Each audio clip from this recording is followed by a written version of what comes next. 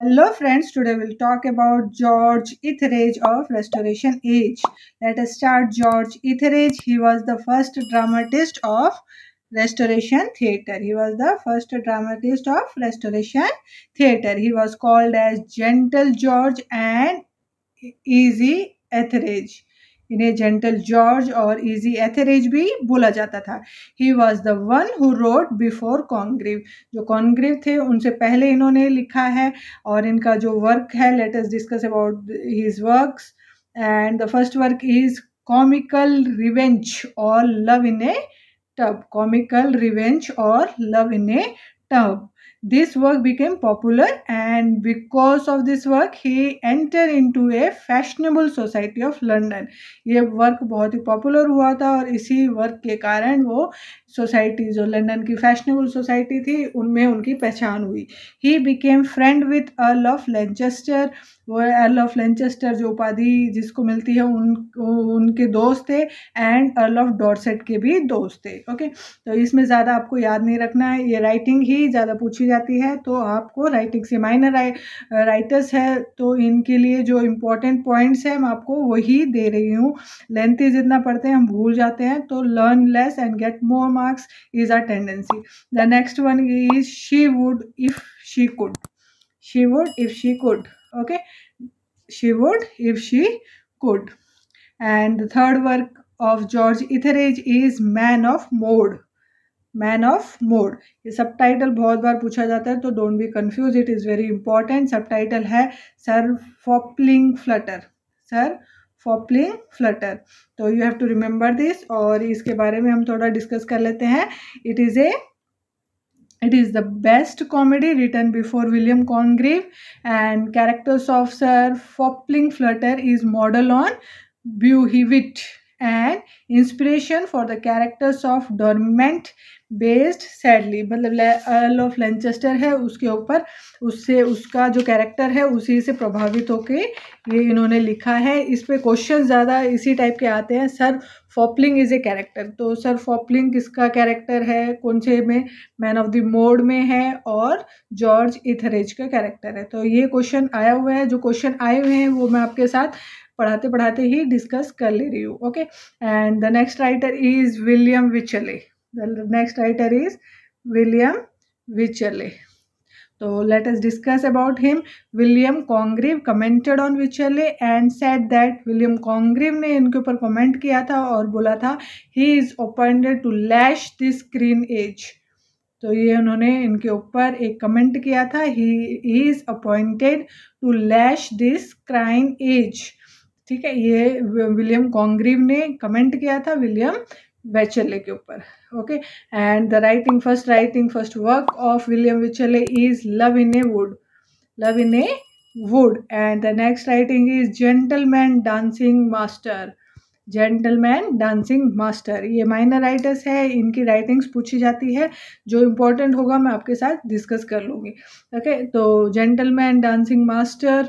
is the second work and the third work is William Wycherley का famous work जो है country wife country wife okay and this play centre around a man who pretend to be important मतलब not have sex so that he can seduce as many married women as he can so this play mock on the hypocrite upper class women and show that even these ladies are eager to have extramarital affair. And it was not performed frequently on the stage because people are quite indifferent to the subject and people did not like the kind of theme this play had.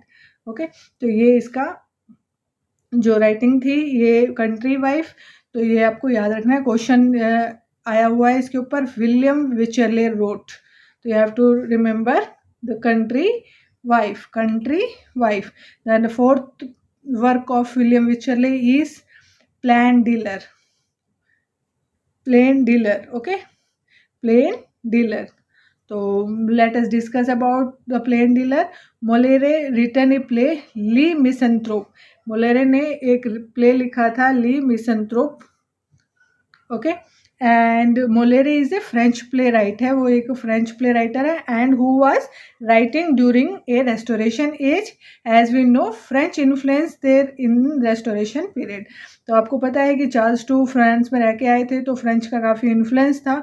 तो ये जो Moliere जो writer है French के France के, उन्होंने ये ली मिसनथ्रोप नाम का प्ले लिखा था तो उससे काफ़ी प्रभावित है। एंड न्यू वर्ड जो उस टाइम पे जो न्यू वर्ड हमारे डिक्शनरी में आया था nincompoop nincompoop new word जो था nincompoop introduce by him while he was writing this play in English तो जब ये प्ले लिख रहे थे तो उस टाइम पे ये न्यू वर्ड उनके, उसमें राइटिंग में उन्होंने यूज़ किया था। Nincompoop nincompoop means stupid foolish person nincompoop means stupid foolish person the main character was Captain Manly जो मेन कैरेक्टर है कैप्टन मैनली है, जो मेन कैरेक्टर्स का पूछ लिए जाते हैं तो you have to remember and Captain Manly is a sailor वो एक सेलर है. He doubt the motives of every man and except his sweetheart Olivia and Vernish उन दोनों के सिवा वो हर एक पे शक रखते हैं डाउट रखते हैं। ओलिविया मैरिज, वर्निश, ओलिविया किसे? मैरिड करते हैं, वर्निश से बिना बताए मैरिड कर लेते हैं। एंड कैप्टन मैनले को, और जब कैप्टन मैनले को पता चले, चला, उसने बदला लेने की ठान ली उन दोनों से, ओलिविया से और वर्निश से। ओके एंड ही जो कैप्टन मैनले है सेंड ए पेज बॉय उन्होंने पेज बॉय भेजा। पेज बॉय क्या होता है? He is a girl on disguise base तो वो एक गर्ल है जो डिस्गाइज भेष में मतलब दूसरे भेष में उसने अपना भेष बदला हुआ है। And this girl love captain Manley वो लव जो गर्ल है, वो खुद ही कैप्टन मैनले से प्यार करती है। ही सेंड पेज बॉय जो गर्ल है टू सिड्यूस ओलिविया तो उन्होंने, उसने ओलिविया को सिड्यूस करने के लिए उसको भेजा। एंड कैप्टन मैनले लास्ट में मैरी कर लेती है। पेज बॉय मतलब गर्ल से उनकी शादी हो जाती है, जो भेज बदला उन्होंने उसी से शादी कर ली, जिसको उन्होंने उसके ओलिविया के पीछा करने के लिए, उसको सिड्यूस करने के लिए भेजा था। And finally decide not to take any revenge further और उन्होंने डिसाइड किया कि नहीं, मुझे कोई बदला बदला नहीं लेना है। ठीक है I am well settle okay तो इसमें क्वेश्चन किस टाइप का आता है, हम एक बार डिस्कस कर लेते हैं। क्वेश्चन है which of the following play of William Wycherley is in part adaptation of Moliere Misanthrope Moliere जो फ्रेंच राइटर है, उनका अडोप्टेशन किसमें है? विलियम विचले के प्ले में। प्लेन डीलर तो you have to remember the name of the play plain dealer okay तो ये मेन मेन पॉइंट्स थे जो ये पूछे जाते हैं एग्ज़ाम में। तो नेक्स्ट जो राइटर है, वो हम कर लेते हैं George Farquhar George Farquhar George Irish writer है ये। Have to remember this Irish writer है और जो इनका वर्क है, वो है recruiting officer recruiting officer and this play talks about the sexual exploited done by two officers while recruiting other officers जब दूसरों को अपॉइंट कर रहे थे, उसी टाइम पे जो उन्होंने सेक्सुअल एक्सप्लॉइट किया था, उसी के ऊपर ये स्टोरी है। तो इसमें क्वेश्चन किस टाइप का आता है? Question is recruiting officer was written by तो रिक्रूटिंग ऑफिसर किसने लिखा है? जॉर्ज फर्कवाहार ओके तो you have to remember the name of the play and the name of the writer okay the next work is beaux stratagem the next work is Bjorkst Startagegam. Okay, and this play talks about two gentlemen who travel to the small town and interact young girl and take their money and go away. ये play जो है वो दो gentlemen का है जो एक lady से interact करते हैं और उसका पैसा लेके वहाँ से भाग जाते हैं and name of the two gentleman are जो नाम है उनका अर्चर है and Aimwell Archer and Aimwell okay तो ये आपको याद रखना है दिस नेम्स रिप्रेजेंट टारगेट जो ये नाम है, वो रिप्रेजेंट किसको कर रहा है? टारगेट को। अर्चर एंड एमवेल तो ये टारगेट को रिप्रेजेंट कर रहे हैं। तो बहुत बार नाम की भी खासियत पूछी जाती है तो you have to remember this ये छोटी छोटी बातें बहुत इंपॉर्टेंट होती है, हम बहुत सारा पढ़ते हैं तो ये माइनर्स को ही भूल जाते हैं तो आपको ये याद रखना है। The next one next writer is John Vanbrugh John वनवर्क हमने पहले लास्ट वीडियो में इनके खिलाफ जो कंट्रोवर्सी थी, दो राइटर्स के बीच में वो पढ़ी थी हमने। अब इनको, इनके बारे में देख लेते हैं। John Vanbrugh. ओके तो let us discuss about the John Vanbrugh. John Vanbrugh जो है one second He, he, he was the one of the prime target of the Jeremy Collier pamphlet हमने जर्मी कूलर के pamphlets देखी थी ये उसके target पे थे। हमने देखा था कि इनको उन्होंने काफ़ी उसमें short view of the immortality and profaneness of on English stage में काफ़ी इनको टारगेट किया और बहुत ही क्रिटिसाइज़ किया था।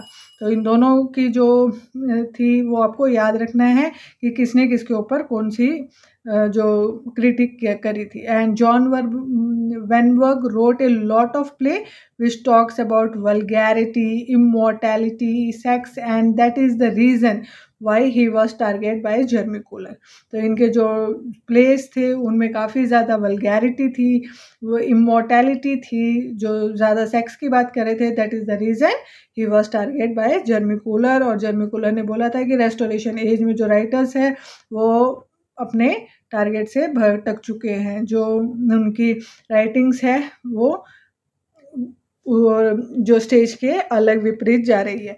He made he is living by architecture career तो उन्होंने अपनी लिविंग आर्किटेक्चर कैरियर से शुरू करी एंड इंग्लिश बोरेज बोरेज का मतलब होता है आर्किटेक्चर स्टाइल है जो जो जॉन बग ने दी है okay he was supporter of Whig party जो ही जो he was supporter of Whig party he was supporter of and he was in support to overthrown James II and put William III on the throne so as to protect English parliamentary democracy. तो वो चाहते थे कि William three आए throne पे ताकि English parliamentary जो democracy है वो प्रोटेक्ट हो सके ओके एंड इनके वर्क जो है relapse the first work is relapse relapse का मतलब है वर्च्यू इन डेंजर तो you have to remember the subtitle subtitle are very important बहुत बार मैं बोलती हूँ तो relapse relapse means virtue in danger. It is a subtitle and it is a sequel to, it is a sequel to Colley Cibber play love last shift जो love last shift है, उसका sequel है and in the plot of this play story revolves around around a virtuous wife whose name is Amanda Amanda, ठीक है? उसका जो virtuous wife है, उसका नाम है Amanda and tries to reform her husband Loveless जो अपने पति को लवलेस को रिफॉर्म करना चाहती है and Loveless is away from her for ten years तो ये स्टोरी आपको याद रखनी है। लवलेस जो है हस्बैंड है, उसकी वाइफ है अमांडा जो उससे लवलेस जो दस साल से दूर रह रहा है and in the ten years he became totally corrupt man और उन दस सालों में वो एक करप्ट मैन बन चुका है। He go to prostitute and busy in drinking in that ten years okay and Amanda जो वर्चुअस वाइफ है decide to take his husband on the right path वो चाहती है कि वो अपने हस्बैंड को राइट पाथ पे लेके आए। And what she did is she became and high class prostitute and go to his husband वो एक हाई क्लास प्रोस्टिट्यूट बनती है और अपने हस्बैंड के पास जाती है। He can not recognise her because of a gap of ten years और वो उसका जो पति है लवलेस वो उसको पहचान भी नहीं पाता क्योंकि दस साल का गैप हो चुका है। And Amanda sleeps with Loveless in her house in the morning Amanda confess her true identity to her husband तो मॉर्निंग में वो अपनी ट्रू आइडेंटिटी अपने हस्बैंड को बता देती है।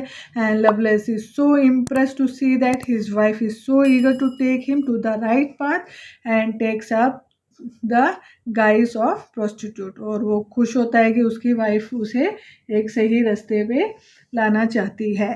Okay he finally decided to not go to any brother मतलब वैश्या खाना में नहीं जाना है उसे and became a good husband and be with his wife for ever वो एक अच्छा हस्बैंड बन के अपने वाइफ के साथ हमेशा फिर रहता है। In this play relapse when work try to portray the same man and the same wife but in a different life इस स्टोरी में लवलेस जो सुधर जाने के बाद भी लव अफेयर करता है एक लेडी के साथ and he is in extra marital affair relapse means going in the same position again okay तो रिलैप्स का मतलब होता है going in the same position again तो next work is provoked wife the next work is provoked wife. And in this play, there is a virtuous lady, brute. जो virtuous lady होती है brute. Okay? And she is married to the very ill tempered drunkard man, sir john. और वो एक बहुत ही ill tempered man के साथ उसकी शादी होती है। And she is so upset that she finally decide going to have an affair to a person Constant वो एक जाके फिर वो सोचती है कि मुझे भी अफेयर करना चाहिए। वो एक पर्सन के साथ कांस्टेंट नाम के आदमी के साथ अफेयर करती है। And there is a comic scene in which sir जो John in drunked position wear clothes of his wife and he goes to other man house where watchman arrested तो लेडी के कपड़े पहन के दूसरे के घर में चले जाता है और वहाँ का वॉचमैन उसे अरेस्ट कर लेता है। तो इसमें this is the provoked wife और इसी का एक दूसरा बना है प्रोवोक्ड हस्बैंड ओके तो इसमें एक उन्होंने प्रोवोक्ड हस्बैंड के नाम से भी जॉन वेनवर्ग ने बनाया है and subtitle is journey to London journey to London इसका सब टाइटल है journey to London and it was left uncompleted ये इनकम्प्लीट रह गया and later this work is complete by Colley Cibber तो उसके बाद में जो नेक्स्ट राइटर हम करेंगे कॉले कीपर उन्होंने प्रोवोक्ड हस्बैंड को कंप्लीट किया। ओके? तो ये इसमें क्वेश्चन किस टाइप का आता है? Let us discuss the author of provoked husband was तो ऑथर कौन है? प्रोवोक्ड हस्बैंड के? The writer name is John Vanbrugh and Colley Cibber तो हम दोनों के नाम ही लेंगे क्योंकि दोनों ने ही, इन्होंने जॉन वेनबर्ग ने इनकम्प्लीट छोड़ दिया था एंड कॉलिकेबर ने इसको कंप्लीट किया था। तो हम दोनों राइटर्स के नाम रखेंगे ओके तो दैट्स ऑल फॉर टुडे कल हम करेंगे कॉली कॉलिकेबर अपने नेक्स्ट वीडियो में। मेरी वीडियोस आपको अच्छी लगे तो प्लीज़ सब्सक्राइब कीजिए लाइक कीजिए शेयर कीजिए ताकि मुझे मोटिवेशन मिले और मुझे भी पता चले कि आपको मेरी वीडियोस अच्छी लग रही है, नहीं लग रही। क्योंकि आपकी तरफ़ से अगर रिस्पॉन्स नहीं आता तो मोटिवेशन भी डाउन होता है नो डाउट तो प्लीज़ ज़्यादा से ज़्यादा सब्सक्राइब कीजिए। लाइक कीजिए शेयर कीजिए एंड कमेंट भी कीजिए. Thank you for watching have a great day